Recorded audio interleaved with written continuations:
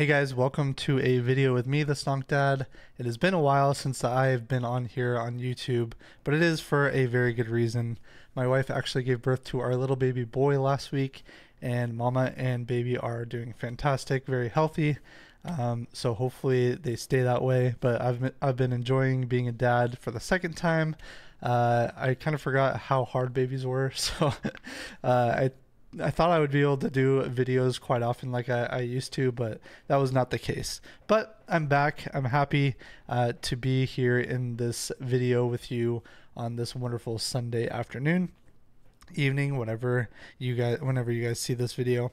Um, but I thought I would do a little different video today. Now, normally on my Sunday videos, I do go over the convergence tool, which uh, I will be going over that, but I thought that it would be uh, a good idea to go over some of the trades that I took um, to kind of see, uh, to show you guys how I implement the data and use the data in my day to day routine. And I explain everything um, pretty much every single day on Discord. So if you guys are interested in that, please uh, click the link down below in the description.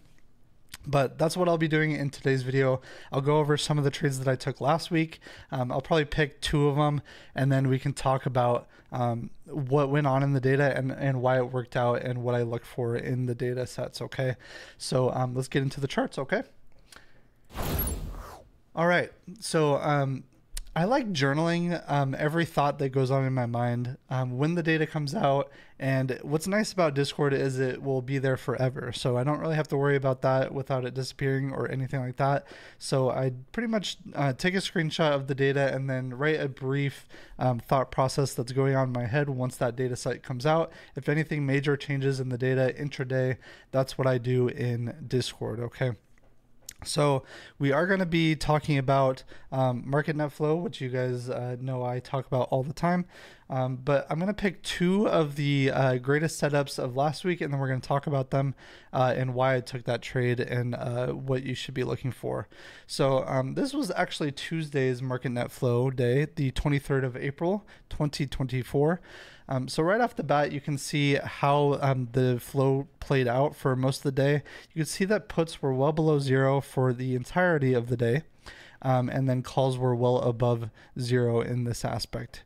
Um, you can see that there was a nice trend up in calls um, around the uh, about um, an hour after the market opened, but we don't really want to focus on uh, the whole entire day of that. We want to focus on what happened at what time uh, and what I was looking for into the leading up into my trade. Okay, so we're gonna flip on over here to Discord. So this is the same day. You can see that the this is Tuesday, April 23rd, 2024 at 6:37 a.m. Uh, that's Pacific time. Uh, that's when the market opens for me, 6:30 in the morning.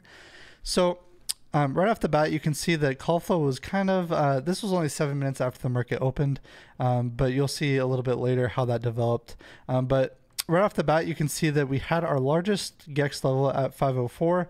So immediately in my head, I'm like, okay, um, if flow is bullish um, today, I'll be looking for 504 to be my upside target. Now that popped up like right at market open, so it was kind of surprising to me. Um, you can see over here uh, on the chart. Oh, you can't even see it very well, but this is uh, this is 501, this uh, yellow line here, 501 SPY, and then this is 502. So we were right in the middle of 501 and 502 at market open. Uh, at about 501.44 is where this was. Okay. and then you can see um, about literally three minutes after I posted this, you can see that call flow started to ramp up quite a bit, and then we got this giant big green engulfing can- candle. Uh, and then as you can see that this is the 502 level right here, this yellow line, so we were pretty close to that 502 level. Um, so as that day moved on, you can see that uh, I said, there it goes, send us to 504 today. So uh, right off the bat, in my head, I'm like, okay, this is very, very bullish. We broke above that 502 level.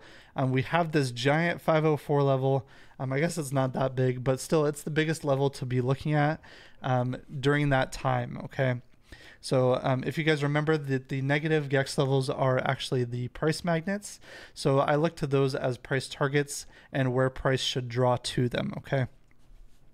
Um, so that was clear as day, a very, very good setup right away. You could see we had green convergence and even more confirmation when you saw uh, call flow starting to go up and up.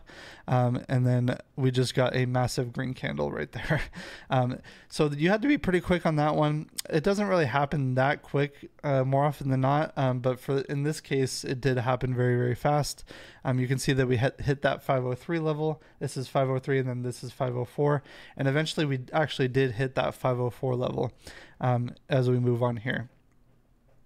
Um, let's see. Boom, boom, boom. So you can see as the day moved on, this was about um, 45 minutes to an hour after the market opened.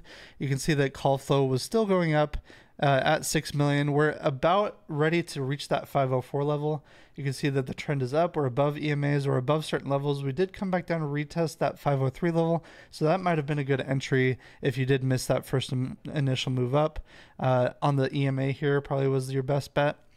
Uh, and then uh, call flow, obviously, with green convergence were very, very awesome. And then eventually we did hit that 504 level right there. So that was one trade that I was actually looking at that I did take uh, on Tuesday. And then the last one was Friday, I think.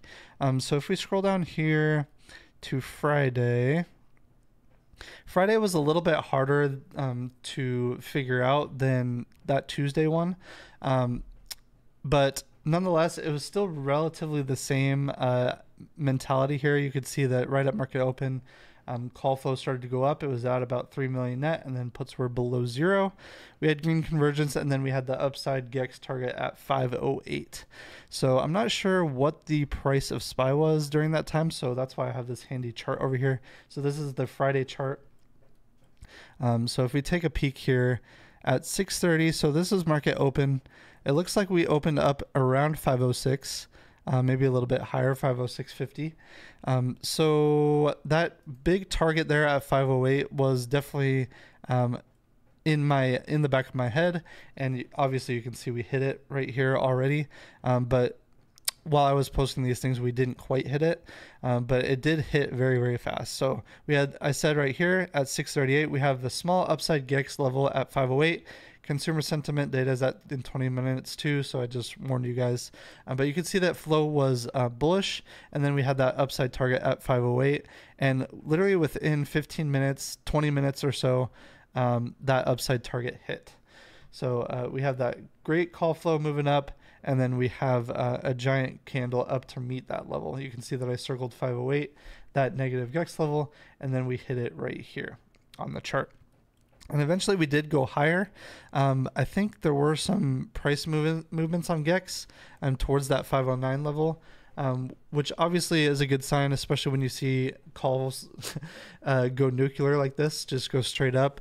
Um, you can pretty much just uh, buy calls and go to sleep, is what I say. Not financial advice. But um, yeah, guys, those were just two of the best trades that I look for. Obviously, I look for the big divergence between calls and puts. It doesn't matter if the green line is above or the red line is above. I just play whatever whatever side it shows me. So in this case, um, the green line was well above the red line. Red line, so we would be playing calls or longs or upside uh, in the market, and then uh, the contrary, if the red line was above the green line, we would be looking for shorts or puts. So yeah, guys, that's a little uh, recap of last week.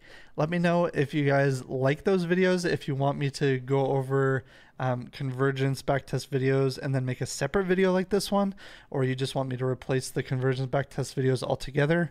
Um, it's up to you guys. I'll let you guys decide in the comments. So uh, with that, I'm I'm glad to be back. Thank you guys for the little break um, with my family. I had a great time uh, just hanging out with my little baby and stuff like that. Um, but yeah, guys, uh, I hope you guys enjoyed this video. Please like and subscribe as usual. I'll see you guys in the next one.